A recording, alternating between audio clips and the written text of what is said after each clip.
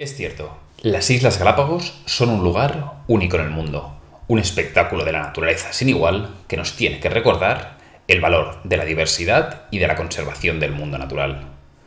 Por ello, hoy quiero salir de viaje a estas remotas islas, para que conozcáis la rica diversidad de paisajes, fauna y flora que esconde este archipiélago del Pacífico.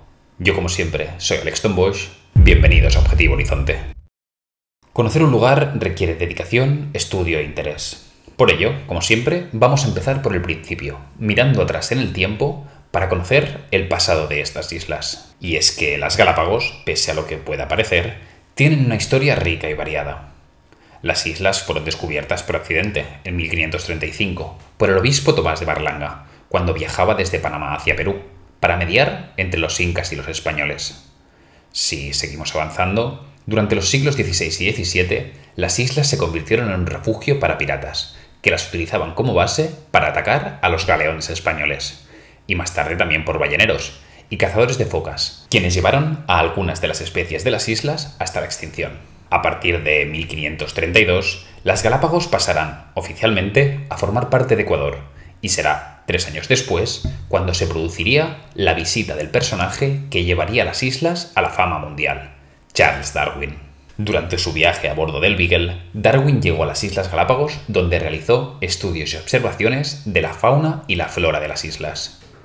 A su llegada, Darwin quedó fascinado por la gran diversidad de vida y las diferencias sutiles que había entre especies muy similares entre las diferentes islas, como las tortugas gigantes o los pinzones.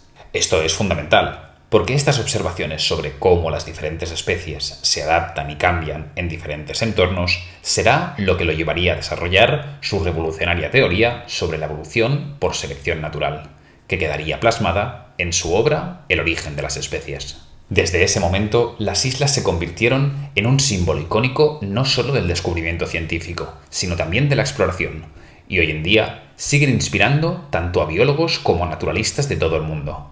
Y es que no es para menos. La visita de Darwin y sus conclusiones cambiaron para siempre nuestra comprensión de la vida en la Tierra. Pero más allá del ámbito científico, hoy la visita de las islas implica adentrarnos en un verdadero paraíso natural. Y es que, por encima de todo, este es un viaje para disfrutar y descubrir de sus paisajes, su flora y sobre todo su fauna. Las Galápagos están ubicadas a mil kilómetros de la costa de Ecuador, este aislamiento ha permitido que las especies que viven aquí evolucionen de una manera única, sin influencia de otras especies continentales. Además, la gran variedad de hábitats, desde desiertos volcánicos, tierras altas o costas marinas, y la falta de depredadores naturales, han permitido que muchas especies, como las iguanas marinas o los cormoranes no voladores, evolucionen aquí de una manera única, en un clima ecuatorial que crea las condiciones perfectas para que una gran variedad de especies marinas y terrestres coexistan. Por supuesto, el símbolo de las islas son sus tortugas gigantes, una especie en peligro de extinción que puede llegar a pesar más de 400 kilos y a vivir más de 100 años. Aunque su población se vio drásticamente reducida por su tráfico ilegal, incluso por el consumo de su carne por parte de los marineros, los programas de conservación del parque, poco a poco, están consiguiendo que cada vez más, aunque sea lentamente, se recupere su población. Pero hay más. En un viaje a las islas vamos a poder avistar también cientos de iguanas, terrestres y marinas, colonias de leones marinos, así como una gran variedad de aves. Algunas de las más curiosas son el piquero de patas rojas o el de azules, los flamencos de Galápagos, la fragata o el pinzón Darwin, en honor, por supuesto, a las observaciones del científico. Sin embargo, todo lo que podemos ver, tanto en las islas como en sus cielos, tiene su equivalente también debajo del agua. Las Galápagos son un auténtico paraíso, tanto si os gusta bucear como simplemente hacer snorkel. Cientos de peces de colores, rayas, tortugas marinas y diferentes tipos de tiburones, desde los de punta negra y blanca hasta el peculiar tiburón martillo. Mientras buceamos, podremos ver lobos de mar jugando entre las rocas, y en época de migración es incluso posible ver desde ballenas jorobadas hasta ballenas azules, el mamífero más grande del mundo. Llegados a este punto, podemos afirmar que sí, que las Galápagos son un auténtico paraíso, tanto para la fauna que vive allí como para los viajeros que tenemos la suerte de visitarlas. Pero esto no es ni suerte ni casualidad. Las Islas Galápagos son un estándar mundial a nivel de conservación medioambiental y están regidas por normas muy estrictas tanto para su visita como para el avistamiento.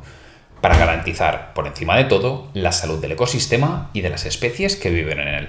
La gestión de la conservación en las islas comenzó a tomar forma en 1959, con la creación del Parque Nacional Galápagos, que abarca el 97% de la superficie terrestre del archipiélago. Desde entonces, la política de conservación ha evolucionado, enfocándose no solo en la protección de la flora y la fauna, sino también en la sostenibilidad de sus recursos naturales. Dentro de este marco, se han implementado numerosas regulaciones y restricciones, tanto a la pesca como al turismo y a otras actividades humanas, que pueden amenazar el frágil ecosistema de las islas. Unas políticas que incluso se fortalecieron en 1978, cuando las Galápagos fueron declaradas Patrimonio de la Humanidad por la UNESCO.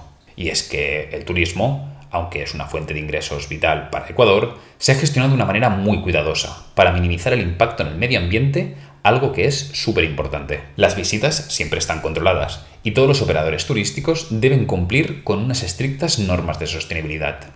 Esto incluye desde la limitación en el número de visitantes, la obligación de ser acompañado siempre por un guía oficial del parque, hasta el cumplimiento de regulaciones sobre residuos y reciclaje.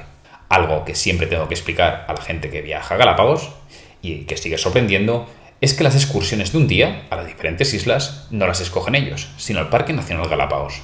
Las excursiones y las visitas siempre estarán condicionadas por el estado del ecosistema, y si la visita de una zona o islote debe cambiarse por cuestiones relacionadas con la flora o la fauna, se hará.